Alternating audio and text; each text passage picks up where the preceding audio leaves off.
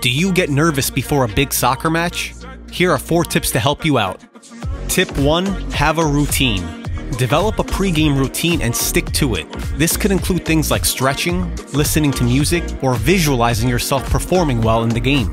Having a routine can help you feel more in control and calm your nerves. Tip 2 Take deep breaths. If you're feeling nervous or anxious, taking deep breaths can help calm you down. Try taking slow, deep breaths in through your nose and out through your mouth, focusing on the sensation of your breath moving in and out of your body.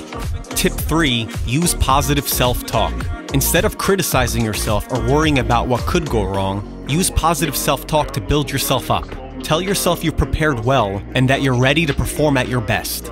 And tip 4 Visualize success. Spend some time before the game visualizing yourself performing well and succeeding. This can help you feel more confident and focused when it's time to take the field.